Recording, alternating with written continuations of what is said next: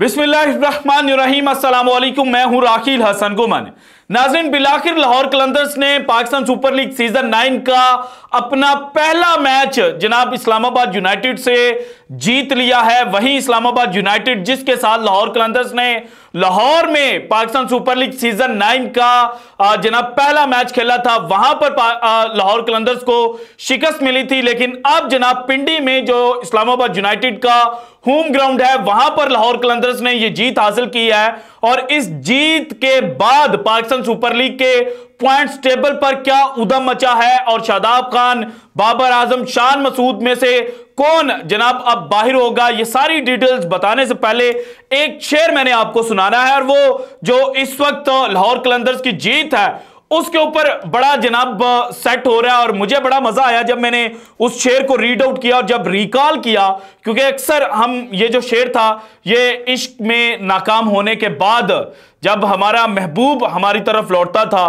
तो उसको देखकर कहते थे कि बड़ी देर कर दी मेहरबान आते आते लेकिन आज जो लाहौर कलंदर्स को जीत मिली है ना, इसके ऊपर भी आप ये कह सकते हैं कि जनाब, फिरे राह से वो यहाँ आते आते अजल मर रही, तू कहाँ आते आते? न जाना कि दुनिया से जाता है कोई, बहुत देर की मेहरबान आते आते। अब जनाब, यही सिचुएशन इस वक्त लाहौर कलंदर्स की है।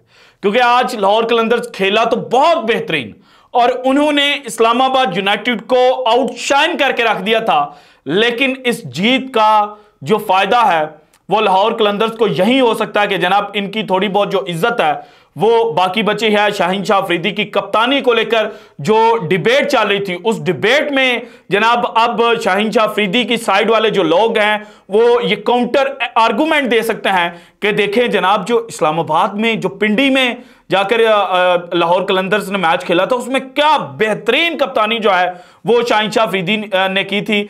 इसके सिवा इस मैच के जीतने का लाहौर कलंदर्स को जनाब Pakistan super league season nine के अंदर कोई फ़ायदा नहीं होने जा रहा ये मैं वीडियो के आगाज़ में ही आपको बता दूँ।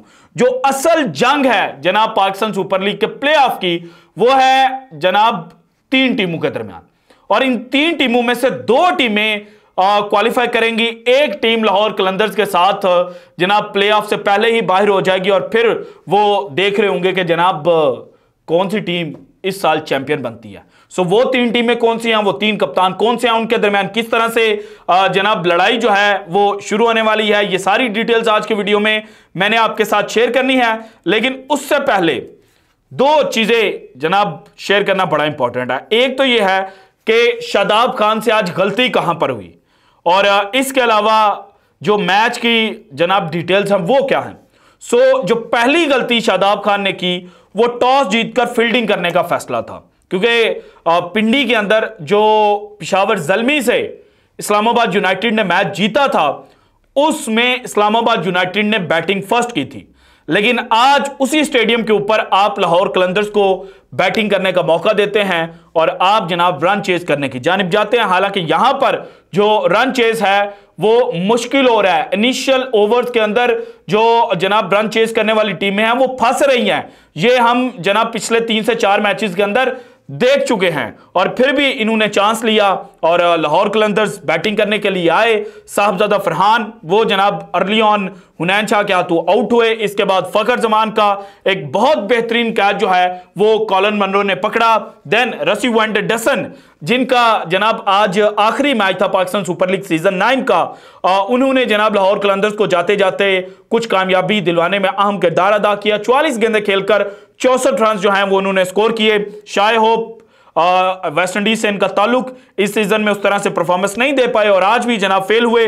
नौ गेंदे खेली, छह रन बनाए और शाइन शाह अफरीदी जो जनाब लास्ट पीएसएल की तरह आज फिर जब रन रेट नीचे लगा हुआ था, खुद बैटिंग करने के लिए आए और फिर यहाँ पर उन्होंने सिर्फ़ चौदह गेंदे खेलकर तीस रन बनाए, जिसमें चार छक्के जनाब शामिल थे और शाहिन शाह अफरीदी ने आज एग्रेसिव स्टाइल के साथ क्रिकेट खेली, लेकिन फिर जनाब इनका जो स्टे था, वो भी ज़्यादा लंबा नहीं हो पाया। शदाब खान ने इनकी विकेट हासिल की दन सिकंदर रजा दस गेंदे खेलकर चार रन स्कोर किए। एस एन हफीज ने आठ गेंदे खेलकर तेरह रन स्कोर किए, जबकि डेविड विजे, जिनको इनिशियल मैच खिलाने के बाद बेंच के ऊपर लाहौर कलंदर्स ने बिठा दिया था, उन्होंने आज फिर बताया कि जनाब मुर्शद मुर्शद ही होता है। और 11 गेंदे खेलकर 24 रन इंपॉर्टेंट 24 रन जो हैं, वो जनाब डेविड विजन ने स्कोर किए, जबकि जहादात खान ने दो गेंदें खेली और दो रन स्कोर किए। और यूँ जनाब जो लाहौर कलंदर्स हैं, वो एक सौ बासठ रन बना पाए, सात विकेटें इनकी गिरी। और इस्लामाबाद यूनाइटेड की बात की जाए तो चार ओवर किए नसीम शाह ने एक ओवर मैडन गया, लेकिन फिर भी तीस रन दिए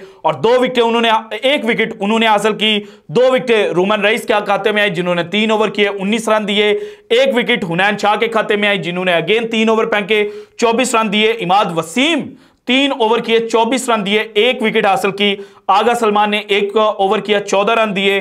फहीम अशरफ ने तीन ओवर किए 28 रन दिए, एक विकेट हासिल की। शादाब खान ने तीन ओवर किए 23 रन दिए और एक विकेट हासिल की। सो अगर आप इस्लामाबाद यूनाइटेड की बॉलिंग लाइनअप को देखें तो मास वाय जो एक ओवर आगा सलमान ने किया था, उसके अलावा सब बॉलर्स की जो इकॉनमी थी, वो बड़ी बेहतरीन थी। और फिर जनाब इस्लामाबाद यूनाइटेड रन चेज करने के लिए आते हैं।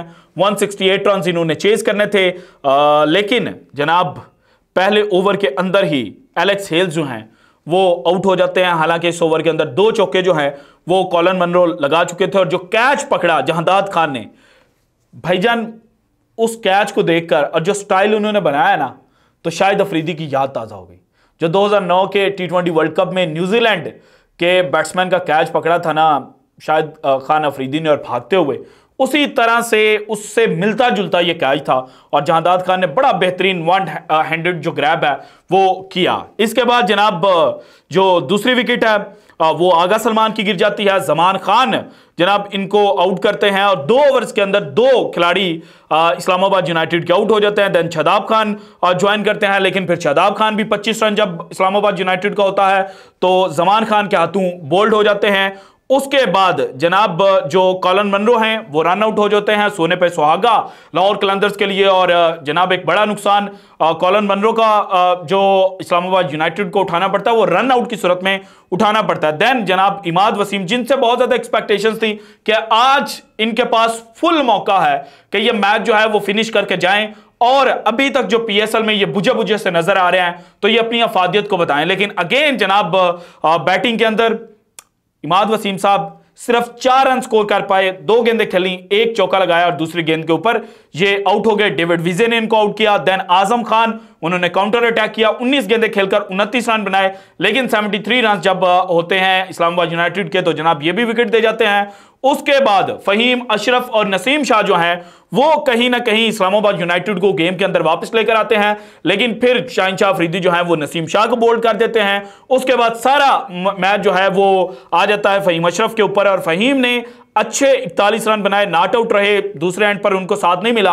हालाँकि अगर यह मैच लास्ट ओवर के अंदर चला जाता तो फिर फहीम, अशरफ लास्ट ओवर के अंदर मैच शायद इस्लामाबाद यूनाइटेड को जितवा देते, लेकिन चूँकि रोमन राइस को जमान खान ने बोल्ड कर दिया तो एक बोल्ड नहीं एलबीडब्ल्यू किया। तो 145 रन के ऊपर इस्लामाबाद यूनाइटेड की ऑल टीम जो है, वो आउट हो जाती है, और ये मुकाबला जनाब लाहौर कलंदर जो है, वो 17 रन से जीत जाते हैं। लेकिन 17 रन से जीतने के बावजूद जो पॉइंट्स टेबल है, उसके ऊपर इस वक्त जो लाहौर कलंदर्स हैं, वो जनाब लास्ट पोजीशन के ऊपर खड़े हैं और इस पोजीशन से ये निकल नहीं सकते।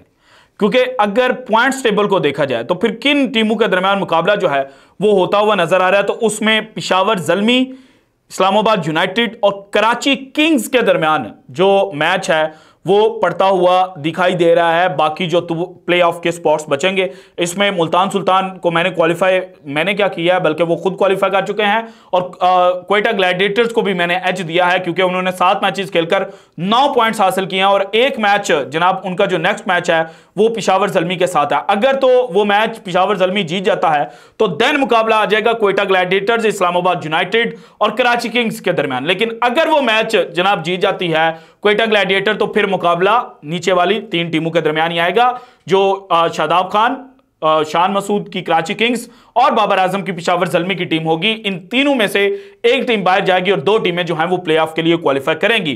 तो पिशावर जलमी के अगर जनाब मैचेस मैं आपको बताऊँ तो इन्होंने अब जनाब आठ मार्च को मैच खेलना है क्वेटा ग्लैडिएटर्स के साथ और उसके बाद जो इनका लास्ट मैच है, वो है कराची किंग्स के साथ और दोनों में से एक मैच जीत जाएँगे।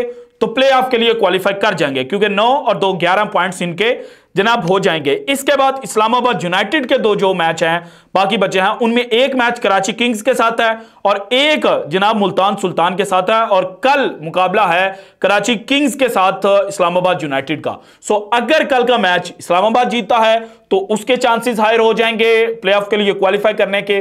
और अगर जनाब कराची किंग्स जीतता है तो देन ऑब्वियसली उनके जो चांसेस हैं और उनकी जो पॉसिबिलिटी है, वो रेज हो जाएगी। इसके बाद कराची किंग्स ने अभी मैच तो सिर्फ़ तीन खेले हैं, लेकिन उनके पॉइंट्स हैं छह। अब उनका कल मैच है इस्लामाबाद यूनाइटेड के साथ, इसके बाद उनका मैच है लाहौर कलंदर्स के साथ, और देन उनका लास्ट मैच है पिशावर जलमी के साथ। सो इनको तीन में से दो मैचेस जो हैं वो जीतने लाजमी है। अगर इन्होंने प्लेऑफ के लिए क्वालिफाई करना है, लाहौर कलंदर्स भी जिस तरह से आज उन्होंने खेल खेला है, अगर वो जनाब, इसी तरह से खेलेंगे तो उनके जनाब चांसेस तो प्लेऑफ में जाने के नहीं है। लेकिन at the end of the PSL 2024 उनके पास कुछ ना कुछ होगा जिसमें वो शो ऑफ़ कर सके कि जनाब, हमने पीएसएल के बिज़नेस एंड के ऊपर बाउंस बैक किया था और हम खुद तो बाहर हुए थे। लेकिन हमने अपने साथ ये वाली जो टीम है इसको भी डुबोया था। जिस तरह से आज इस्लामाबाद यूनाइटेड को शाहिन शाह अफरीदी ने रगड़ा लगाकर रख दिया है।